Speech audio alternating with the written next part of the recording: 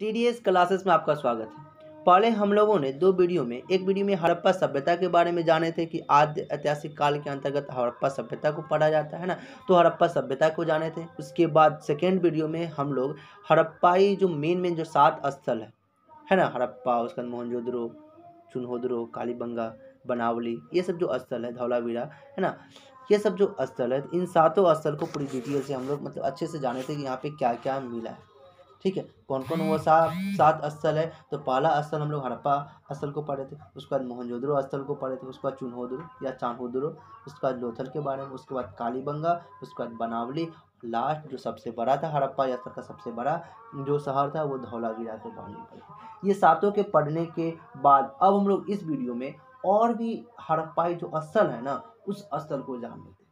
ठीक है? तो अब हम लोग इस वीडियो को है ना अब हम लोग आज के टॉपिक जो है ना हड़प्पाई, जो इन सातों के अलावा जो और भी जो स्थल है ना, उन स्थल को इस वीडियो के माध्यम से अच्छी तरह से समझ लेते हैं, ठीक है?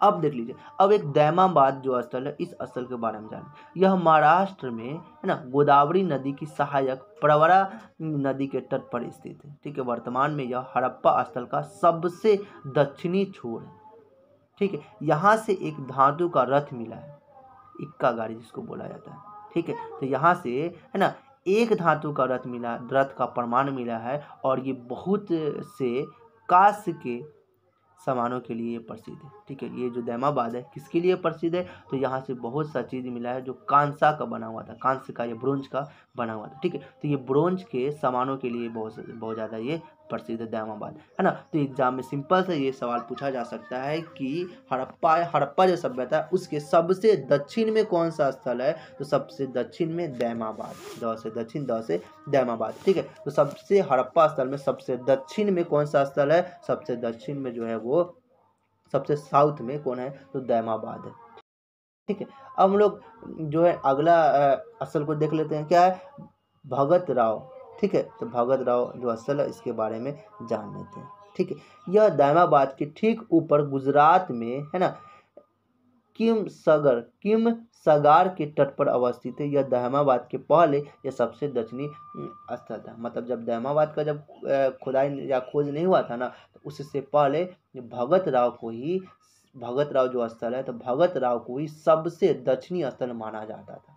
ठीक है, लेकिन दैमाबाद उस, दैमाबाद या दायमाबाद है ना? कहीं कहीं पे दैमाबाद या दायमाबाद दिखा रहा था, दोनों सेम ही एक हिसाब से समझिए तो है ना? तो ये जो दायमाबाद है है ना? इसकी खुदाई बाद में हुई थी, तब पता चला कि हड़प्पा जो सभ्यता है, उसका सबसे दक्षिणी छोर पे जो कोई स्थल है तो वो दैमाबाद है।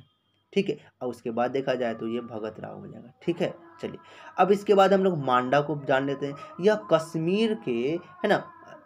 अखनूर ज़िले में चिनाव नदी के तट पर अवस्थित है। ठीक है तो ये मांडा जो स्थित जो मांडा जो स्थल है तो ये है कहाँ? तो यह कश्मीर के अखनूर ज़िले के, ज़िले में चिनाव नदी के तट पर जो ये अवस्थित है, यह सभ्यता का, इस सभ्यता का सबसे उत्तरी स्थल है। तो एग्ज़ाम में सिंपल सा सवाल पूछा जा सकता है कि हड़प्पा स्थल का सबसे उत्तरी स्थल कौन सा है? तो मांडा है। कौन सा है वो? मांडा है। तो ये आप लोग अच्छे से याद कर लीजिएगा कि हड़प्पा जो सभ्यता है, उसका सबसे उत्तरी छोर पे जो कोई स्थल है तो वो मांडा स्थल है। ठीक है? सबसे दक्षिणी में दैमाबाद दैमाबाद और सबसे उत्तरी में कौन है? तो मांडा है। ठीक है?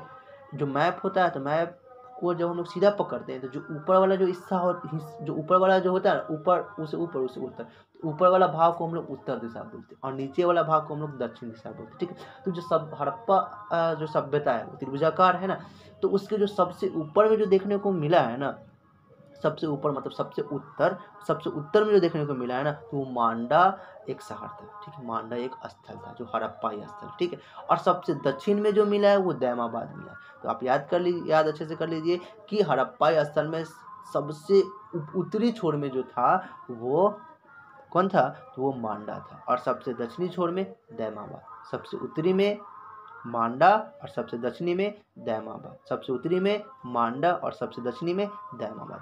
ठीक है? अब हम लोग देख लेते हैं सुतका गेंडर को, है ना? यह पाकिस्तान के बलूचिस्तान प्रांत में, है ना? मकरान के दास की नदी के तट पर यह अवस्थित है। कौन? सुतका गेंडर ठीक है? यह इस सभ्यता का सबसे पश्चिमी भाग है। ये लोथल के समान बंदरगाह नगर भी है। और लोथल को भी बंदरगाह नगर बोला जाता है और यहाँ पर भी बंदरगाह नगर मतलब बंदरगाह यहाँ पर भी देखने को मिला, इसलिए इसको भी बंदरगाह नगर बोला जाता है ठीक है? तो ये भी एग्ज़ाम में पूछा जा सकता है कि लोथल के समान कौन सा और जो सभ्यता है, जो बंदरगाह नगर है तो ये सुतका गेंडौर है, ठीक है? तो सुतका गेंडौर जो है, ये है कहाँ? तो ये पाकिस्तान के बलूचिस्तान प्रांत में मकरान की दास नदी के तट पर ये अवस्थित है, ठीक है? सब, मेन बात तो ये है कि ये ये सुतका गेंडौर है कहाँ? किस दिशा में तो ये हड़प्पा जो सभ्यता है ना तो हड़प्पा सभ्यता का सबसे पश्चिमी भाग, सबसे पश्चिमी भाग में अवस्थित है। देखिए, जब हम कोई भी मैप पकड़ते हैं ना, देखिए तो मैप सीधा पकड़ेंगे, है ना? सीधा जब पकड़ेंगे तो सबसे ऊपर वाला जो होता है ना, उसको हम लोग उत्तर दिशा मानते हैं। सबसे नीचे वाला है को दक्षिण, ठीक? और मेरा जो बायां हाथ होता है ना, बायां तो बायां हाथ को पश्चिम दिशा, बायां हाथ जो होता है ना, वो मेरा पश्चिम दिशा को बताता है। और दाहिना हाथ जो होता है, वो पूर्व दिशा को बताता है, ठीक है? है ना? तो क, तो जो सुतका गेंडौर है ना वो है ना हड़प्पा सभ्यता का सबसे पश्चिमी छोर पे ही है सबसे पश्चिमी भाग में ही ठीक है? तो एग्ज़ाम में सिंपल सा ये सवाल पूछ देगा कि कि हड़प्पा सभ्यता की सबसे पश्चिमी भाग सबसे पश्चिम में कौन सा स्थल है? तो सबसे पश्चिम में जो है वो सुतका गेंडौर ठीक है? चलिए अब इसके बाद क्या है? आलमगीरपुर ठीक है? यह उत्तर प्रदेश के मेरठ जिला में, है ना, यमुना नदी की सहायक नदी जो हिंडन नदी है ना तो हिंडन नदी के तट पर ये अवस्थित है, ठीक है? यह इस सभ्यता का सबसे पूर्वी स्थल है है ना, यहाँ से, है ना, उत्थान और पतन का साक्ष्य एक साथ मिला है मतलब यहाँ से उत्थान का और पतन का साक्ष्य एक साथ मिला है, ठीक है? तो ये जो आलमगीरपुर जो है ना तो ये सबसे पहले देख लीजिए, आलमगीरपुर है कहाँ? ये उत्तर प्रदेश में। ठीक है? उत्तर प्रदेश में एक मेरठ जिला में यमुना नदी की सहायक नदी, हिंडन नदी है, उसी के तट पर यह अवस्थित है। ठीक है? अब देखिए, सवाल तो ये पूछेगा कि हड़प्पा, ये भी पूछ सकता है कि है कहाँ? ठीक है? तो ये हड़प्पा सभ्यता का सबसे पूर्वी छोर पर कौन है? तो ये आलमगीरपुर है। ठीक है? तो ये चारों दिशा है बहुत ज़्यादा बहुत ज़्यादा मेन है। हो सकता है आपको ये चारों उल्टा पुल्टा दे दे और पूछे कि आप इसको क्या कीजिए कि दिशा वाइज लिखिए, है ना? तो देखिए, दैमाबाद जो है तो ये सबसे हड़प्पा सभ्यता का जो सबसे दक्षिणी छोर पे जो है, वो दैमाबाद सबसे उत्तरी छोर पे कौन है?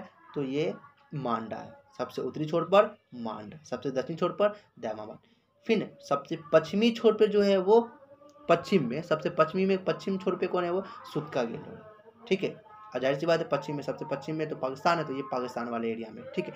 आलमगीर जो है, सबसे पूरब में तो पूरब में मतलब बिहार तक पहुँचा नहीं है, बिहार तक तो ये हड़प्पा सभ्यता का पहुँचा नहीं, बिहार तक जस्ट पहले ये उत्तर प्रदेश तक पहुँचा था ना तो ये सबसे पूरब में कहाँ जाएगा, ये उत्तर प्रदेश में, ठीक है। और सबसे दक्षिण कहाँ तक पहुँचा था तो ये सबसे दक्षिण मतलब ये महाराष्ट्र तक पहुँचा था, सबसे ऊपर में तो कश्मीर के अलावा तो है ना ना। तो कश्मीर में, ठीक है? तो इसका हम लोग का जगह भी याद हो जाएगा तो सबसे ऊपर में जो कश्मीर हो गया था, कश्मीर में ये कहाँ कौन जगह था? तो दैमाबाद था, ठीक है? उसके बाद महाराष्ट्र में कौन जगह था? तो ये मांडा था। महाराष्ट्र में कौन जगह था ये? महाराष्ट्र में मतलब नीचे तो ये दैमाबाद था, ठीक है? और कश्मीर में मांडा था, ठीक है? सबसे उत्तर में मांडा, सबसे दक्षिण में दैमाबाद और सबसे पश्चिम में सुतका और सबसे पूरब में आलमगीरपुर ठीक है तो ये चारों दिशा हो गया तो चारों दिशा को अच्छी तरह से याद कर लीजिएगा कि कि हरप्पा सभ्यता के पश्चिम में सुक्का गेंडौर है पूरब में आलमगीरपुर है। आलमगीरपुर जो हिंड नदी के किनारे है और सुक्का गेंडौर दास नदी के किनारे। ठीक है, उसके बाद देख लेंगे सबसे उत्तर में कौन है? मांडा है, जो चिनाब नदी के किनारे या सबसे दक्षिण में जो है दहमाबाद है, जो प्रवरा नदी के किनारे स्थित है। ठीक है अब हम लोग आगे देख लेते हैं। और भी जो स्थल है तो उन स्थलों को देख लेते हैं। एक रंगपुर स्थल है, यह गुजरात में अहमदाबाद के पास, है ना? मादर नदी के किनारे ये स्थित है ना? यहाँ से धान की भूसी का जला हुआ ढेर यहाँ से प्राप्त हुआ है। देखिए, खास बात है, जो खास बात होता है, वो एग्ज़ाम में पूछा जा सकता है। सब में जो कॉमन बात है, उसको पूछेगा नहीं, है ना? तो खास बात क्या हुआ कि यहाँ से धान की भूसी का जला हुआ ढेर मिला हुआ, यहाँ से मिला। है। ना तो एग्ज़ाम में सिंपल सा सवाल पूछ देगा कि धान की भूसी का जला हुआ ढेर किस हड़प्पा स्थल से मिला है? तो ये रंगपुर जो हड़प्पा स्थल है, वहाँ से मिला है। ठीक है? इसके बाद हम लोग सुरकोटदा एक जगह है है ना? तो यह गुजरात में स्थित सुरकोटरा भी गुजरात में स्थित है है ना? गुजरात से बहुत ज़्यादा से मिला है ना? तो सबसे पहले रंगपुर, ये भी गुजरात के, अहमदाबाद के पास में, मादर नदी किनारे मिला है। ठीक है? यहाँ से क्या मिला है? धान की भूसी का जला हुआ ढेर मिला है, उसका सुरकोटरा है ना? यह भी गुजरात में स्थित है। यहाँ से क्या मिला? यहाँ से कलश सावधान का सावधान और घोड़े की हड्डी मिली। ठीक है? यहाँ पर एक बहुत बड़ा टीला भी था। यहाँ पर एक बहुत बड़ा टीला भी था। ठीक है? तो ये सुरकोडरा के बारे में जान लिए है ना? तो यहाँ पे एक बहुत बड़ा टीला मिला और क्या मिला? कलश सावधान भी मिला और घोड़े की यहाँ से हड्डी भी मिला। ठीक है? और यह है कहाँ सुरकोडरा तो गुजरात में। लोकेशन भी पूछ सकता है ना? चलिए, अब लोग रोपर के बारे में जान लेते हैं, है ना? इसको रूपनगर भी कहा जाता है। जो रोपर है, रोपर रोपर। नाम भी लग रहा है ना रोपर जो है इसको रूपनगर भी बोला जाता है। यह पंजाब में सतलज नदी के किनारे अवस्थित है, स्थित है, अवस्थित है, ठीक है।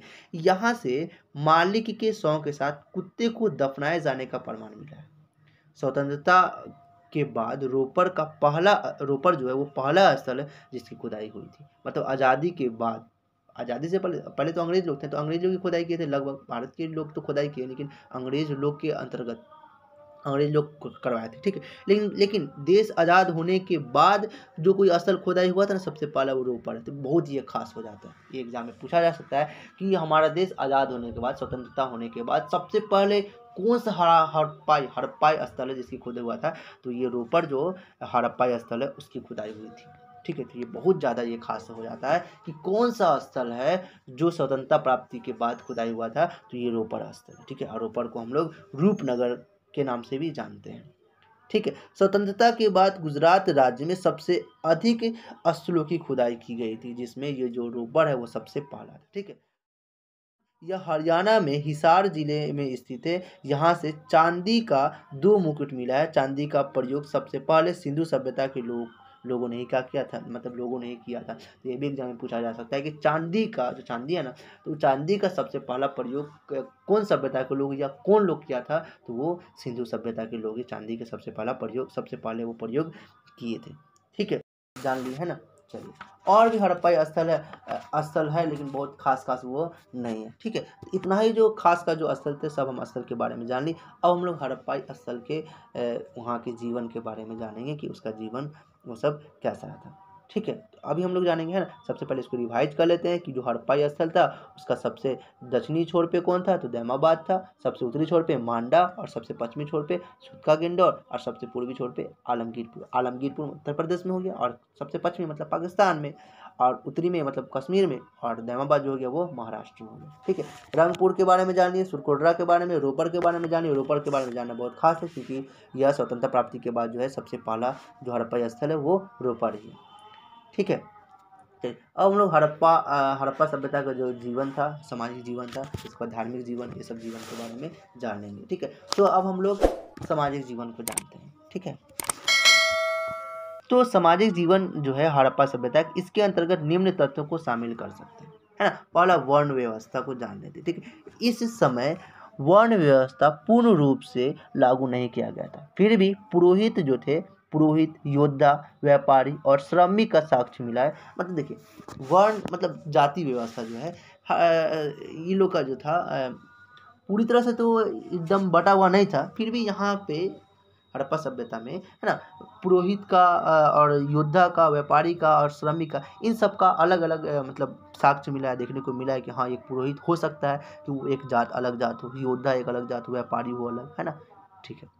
इस समय समाज, इस समय का जो समाज था, वो मातृ सत्तात्मक था। मतलब माता लोग का यहाँ पे बहुत ज़्यादा इज़्ज़त होता था। ठीक है?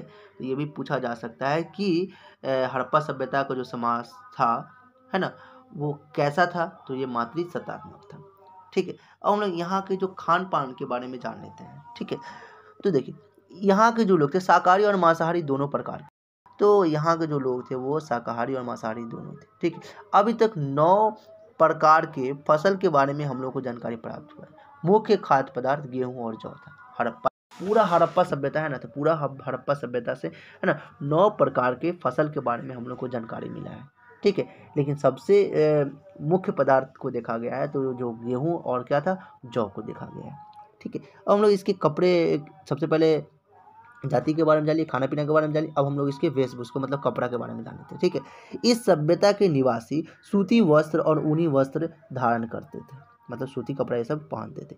कपास का उत्पादन सर्वप्रथम हड़प्पा सभ्यता के लोगों ने ही किया था। मेसोपोटामिया में कपास, सिंधु एवं यूनान में, है ना, सिंड्रोम इसको कहा जाता था।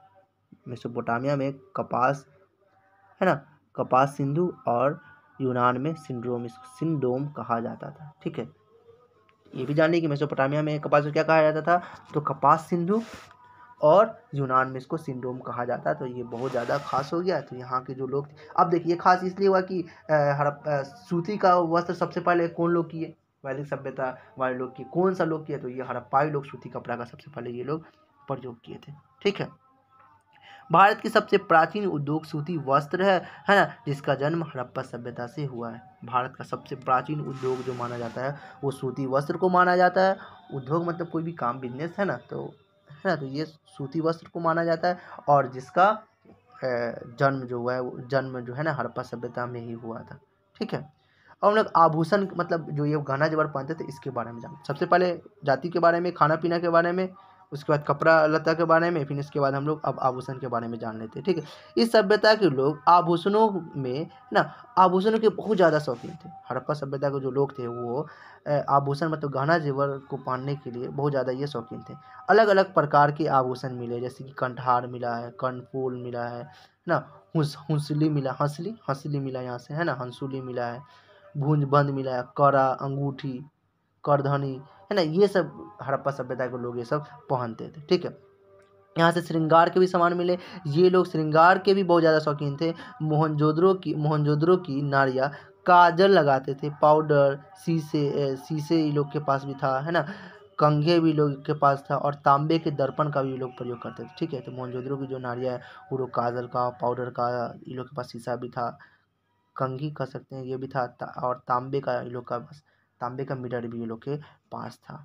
ठीक सबसे पहले हम लोगों ने जाति के बारे में जाना खान पीना के बारे में जाना कपड़े लत्ता के बारे में गहना जेवर के बारे में, है ना? अब हम लोग इन लोग के मनोरंजन का साधन मतलब ये लोग कैसे मनोरंजन मनोरंजन का सबसे प्रमुख साधन पासा का खेल था ये लोग का, ये लोग का। जैसे कि अभी हम लोग क्रिकेट खेलते हैं ना तो इन लोग का प्रमुख जो साधन था वो पासा का खेल था। ठीक है तो मनोरंजन का सबसे प्रमुख साधन ये लोग का पासा का मतलब लूडो टाइप या फिर कुछ भी टाइप ये लोग का एक पासा का खेल होता था जो सबसे ज़्यादा मेन था, ठीक है? तो ये भी एग्ज़ाम में पूछा जा सकता है कि हड़प्पा सभ्यता का सबसे प्रमुख साधन मनोरंजन का सबसे प्रमुख साधन कौन सा था? तो वो पासा का खेल था, ठीक है? सार्वजनिक उत्सव के समय मनोरंजन के लिए वृहद स्नानागार को भी खोल दिया जाता था। मतलब बहुत ज़्यादा उत्सव होता था तो उत्सव के समय में मनोरंजन के लिए, है ना? ये जो वृहद स्नानागार था, उसको भी खोल दिया जाता था। इसके साथ ही पशु पक्षियों की लड़ाई भी लड़ाई में भी मनोरंजन मतलब पशु पशु पक्षी जो है ना, उसकी लड़ाई करवा के भी ये लोग मनोरंजन करते थे। नृत्य और गाने बजाने के भी ये लोग शौकीन थे, है ना? मतलब डांस करना और गाना बजाने का भी ये लोग बहुत ज़्यादा शौकीन थे, ठीक है? तो तो क्या क्या बोल देंगे? तो ये लोग पासा खेल खेलते थे।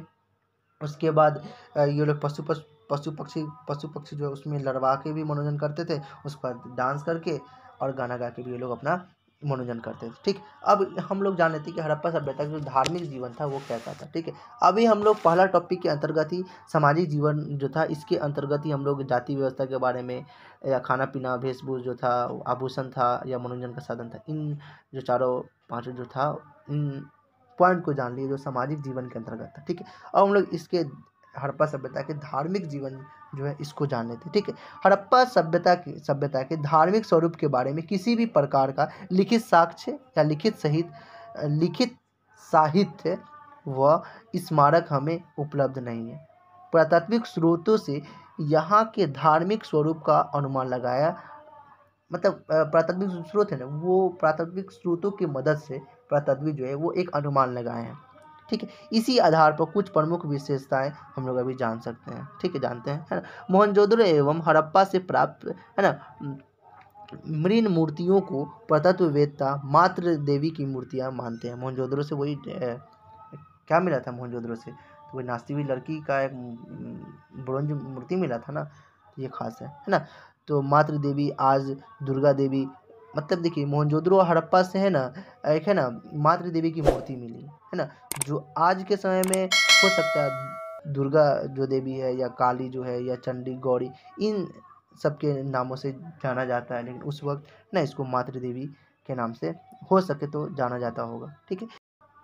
है ना एक एक मूर्ति मिला है जिसके गर्भ से है ना, एक पौधा निकलता हुआ दिखाया गया है मतलब मिला है, हम लोग को पुरातत्वविद जो है उनको मिला है कि कि एक मूर्ति है उसके गर्भ से पौधा निकलता हुआ, दिखता हुआ मिला है है ना? तो इससे हम लोग संभवतः अनुमान लगा सकते हैं कि हो सकते तो ये लोग उर्वरकता की देवी के रूप में इसको पूजते होंगे। हो सकता है, ठीक? लेकिन पक्का हम लोग को एकदम साहित्यिक साहित्यिक मतलब लिखा हुआ एक स्रोत नहीं मिला है, जिससे हम पक्का एकदम कंफर्म कर दें कि हाँ वो उर्वरकता की देवी थी। लेकिन हो सकता है कि वो उर्वरकता की देवी होगी, ठीक है? एक मुद्रे पे पशुपति शिव भगवान के होने का साक्ष्य मिला है है ना? जिसमें तीन मुँह वाले पुरुष योग अवस्था में बैठा हुआ है। ठीक है? बाई ओर एक गेंडा, भैंस और दाई ओर एक हाथी और व्याघ्र। बाई ओर गेंडा, भैंस और दाई ओर एक हाथी और व्याघ्र मतलब हिरन जैसा है। ठीक है? उसके, उससे मुद्रे के। ठीक है?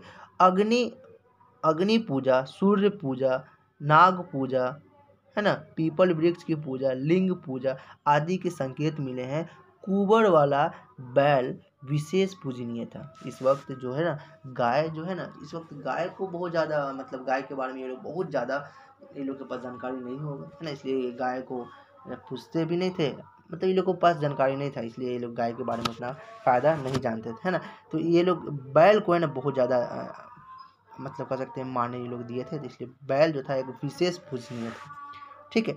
बड़ी संख्या में प्राप्त ताबीज संकेत भी यहाँ से मिला है। मतलब बहुत ज़्यादा यहाँ से ताबीज भी मिला है है ना? कि ये लोग तंत्र, मंत्र ये सब में भी विश्वास रखते थे, ये अंधविश्वासी और भूत प्रेत में भी विश्वास रखते थे। मतलब जो हड़प्पा जो सभ्यता है यहाँ से, है ना? ताबीज भी मिला है बहुत ज़्यादा और तो ताबीज़ मिला है तो यहाँ से अनुमान लगाया जा सकता है कि ये तंत्र, मंत्र और में ये सब विश्वास रखते थे और जब तंत्र, मंत्र में विश्वास रखते थे तो तो ये लोग अंधविश्वासी और भूत प्रेत में भी विश्वास ये लोग रखते थे। ठीक है? अब हम लोग धार्मिक जीवन के बारे में जान लिए। सबसे पहले हम लोग सामाजिक जीवन के बारे में जाने उसके बाद धार्मिक जीवन के बारे में जाने अब हम लोग दाह संस्कार के बारे में जान लेते हैं। इस सभ्यता के अंतर्गत तीन प्रकार के दाह संस्कार का कार्य किया जाता था। मतलब तीन प्रकार के दाह संस्कार मतलब अंतिम संस्कार होता था। है ना? चलिए, अभी के समय में देख लीजिए, तीन सर, तीन तरह के होते हैं। एक तो जलाया जाता है, एक तो दफनाया जाता है, एक तो ताबूत में रखा जाता है। ठीक है? तो वही होगा, है ना? पूर्ण समाधिकरण पूर्ण समाधिकरण देखा गया, पहला दूसरा, आंशिक समाधिकरण देखा गया और तीसरा, दाह कर्म देखा गया। ठीक है इन तीनों को हम लोग जान लेते हैं। पूर्ण समाधिकरण क्या था? इसमें संपूर्ण सौ को भूमि के नीचे गाड़ दिया जाता था। जस्ट वही बात है ना? उसके बाद क्या था? आंशिक समाधिकरण देखा गया। इसमें पशु पक्षी के खाने के बाद सौ के बचे हुए भाग गाड़ दिए जाते थे। नहीं, इसमें ताबूत वाला सिस्टम नहीं था। इसमें क्या होता था कि पशु इसमें जो आदमी मर जाता था, उस मरा हुआ आदमी को ऊँचा जगह पर रख दिया जाता था ताकि वहाँ पे, वहाँ के जो जो जानवर सब है या फिर जो जानवर नहीं मतलब वहाँ पे जो पक्षी सब है है ना पशु पक्षी जो है, वो आके उसको खा ले और खाने का जो भी बचता था ना, उसको गाड़ दिया जाता था। ठीक है तो ये आंशिक समाधिकरण था। ठीक है, उसके बाद यहाँ पे एक दाह क्रम होता था मतलब इसमें सौ जला दिया जाता था और उसकी भस्म को गाड़ दिया जाता था।